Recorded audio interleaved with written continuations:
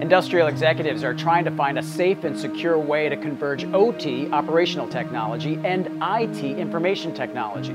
The idea behind the need to merge usually surrounds improving efficiency, but we found that execs in the oil and gas industry are finding the road to convergence is a tricky one. One of the challenges we've had is the convergence of IT and OT.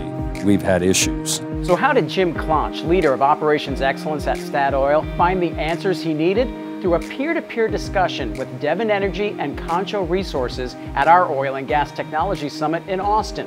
They've kind of cracked the code in a good way of, of how you govern IT and OT together. You provide the same security, you get clarity on roles and responsibilities, and even, you know, them willing to share policies and procedures and how they've documented it and the whole nine yards. I had a meeting this morning, and when I shared that with the guy that runs operation and maintenance, of course, he's wide open to that idea of getting his guys in OT and my guys in IT together with a document and a way of working that is proven. Claunch now has a roadmap toward converging with an emphasis on avoiding the cybersecurity threats associated with this type of tech merger. But what about the cultural challenge? The IT guys don't want the OT guys in their space, and the OT guys don't want the IT guys in theirs.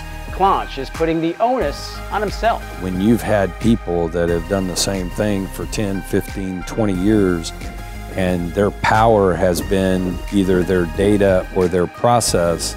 And we're using automation to replace that and do it differently. I think it, the burden is on us to communicate to them.